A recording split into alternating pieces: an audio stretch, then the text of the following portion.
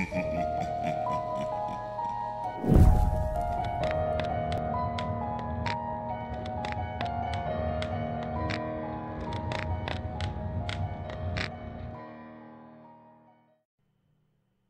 thought you might like to know about this game that I recently downloaded.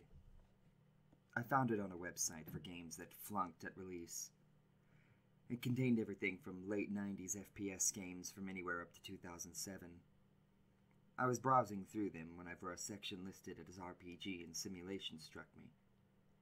I'm kind of a sucker for that kind of thing, so I had to look around. The games were listed in columns, big blocks of text that made my eyes blur when I attempted to look through them. There was one, however, that was not in a column.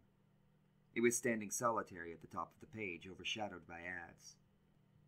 The game was called Simulation Star Sign. When I clicked on it, there was quite a lot of comments in the discussion page, most people just talking about how to install and download. A few, however, mentioned how bad the ending was. Not really bothered about spoilers, I searched for the ending. It took me through about three to four pages before I found something worth reading. It was a review website for underappreciated games. I skipped most of the info, but one thing caught my eye. It said, Don't get too familiar with your characters. They don't last long. And this was hidden under a spoiler banner. So I found the page I was on before and downloaded it. It started up fine, which I really wasn't expecting from such an old site. The game had a README file with some basic info about the developer and estimated sales. The graphics were pretty decent for 2004, at least that's when the copyright was taken out. It looked a little like The Sims, but it was a centered third person camera rather than a bird's eye view. The first thing I saw was a long bar with green filling at the bottom of the screen. There was no character creation or any choosing of stats or traits. I was simply spawned into a dark park near a busy road. It Took me a while to get going, but I eventually figured out the basic controls and had a good setup in a small apartment on the east side of the map. A small icon popped up over my character's head showing a picture of a knife and fork. I assumed it was a sign I needed to eat, so I went over to the oven and began cooking. It didn't say what. All that was shown was the icon, Make Dinner. This was not simply a case of my character putting some dish into the oven, though. We began cluttering through drawers and cupboards to find all the equipment needed. This was when things got a little odd. It appeared as though my character couldn't find something. He began rummaging through drawers, getting more and more frustrated.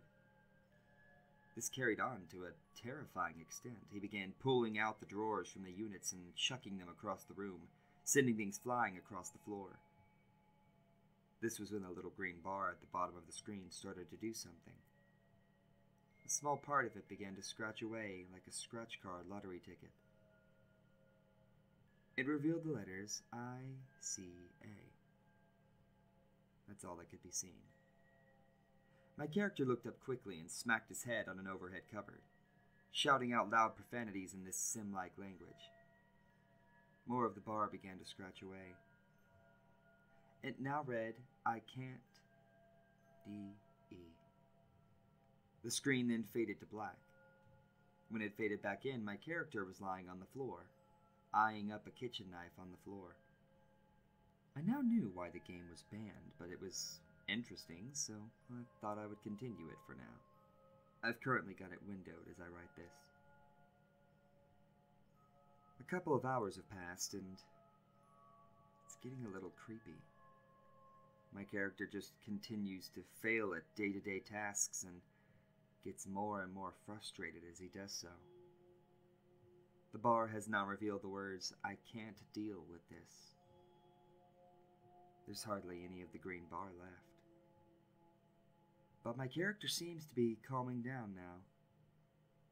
Another bubble has popped up above him. This looks like an animation. It looks like he's falling through the air. He just passed from tree to tree trunk, and before the ground became visible, the bubble disappeared. The kitchen is still a mess apart from the knife. He picked that up and put it back in a safe place. It has a gleaming light around it. I'm not sure what it means.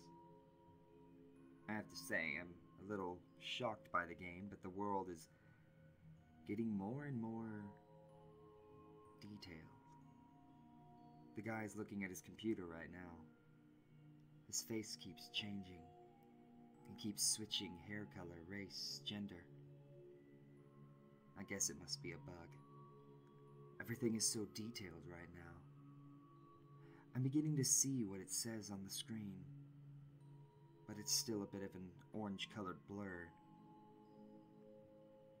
I can see it now.